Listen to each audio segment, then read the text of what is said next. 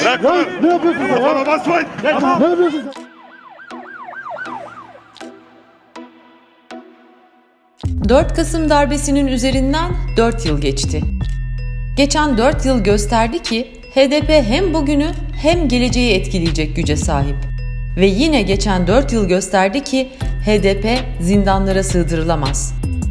Bunun kanıtı cezaevinde de olsalar direnmeye ve umut vermeye devam eden yoldaşlarımız. Yoldaşlarımızdan mesaj var. Bundan 4 yıl önce 4 Kasım günü bizleri yenebileceğini, yok edebileceğini sananlar yanıldılar, başaramadılar. Yine başaramayacaklar.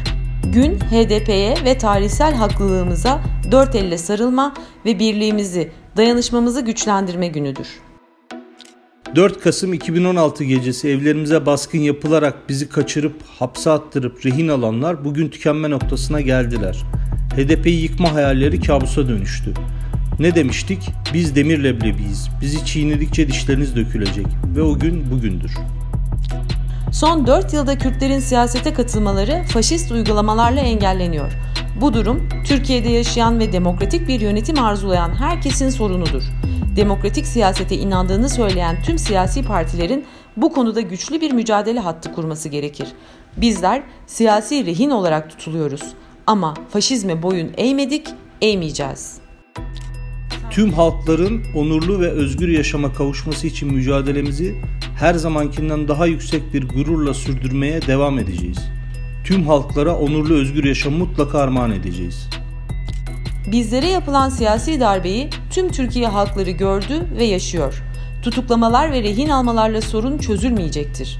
Ancak ve ancak halkların demokratik iradesini tanımakla bu sorunun çözümü mümkündür. Bizi bugünlere getiren mücadele ve direniş ruhu devam edecektir. 4 Kasım 2016'da halk iradesine yapılan darbe bugün siyasi, toplumsal, hukuksal ve ekonomik çöküşün yolunu döşeyen mihenk taşlarındandır. Halklarımızı ve ülkemizi çöküşten kurtaracak çözüm halk iradesine yapılan darbe anlayışının içerdiği bütün hukuksuzlukların alt edilmesidir. HDP halkların, inançların, kadınların umudunu diri tutan, başka bir yaşamın mümkün olduğuna inanan herkesin öncü partisidir. Şimdi özgürlük zamanı. 4 Kasım siyasi darbesini yapanlar kaybetmeye mahkum. Onlar yolun sonuna geldi. Bizlerse daha yolun başındayız.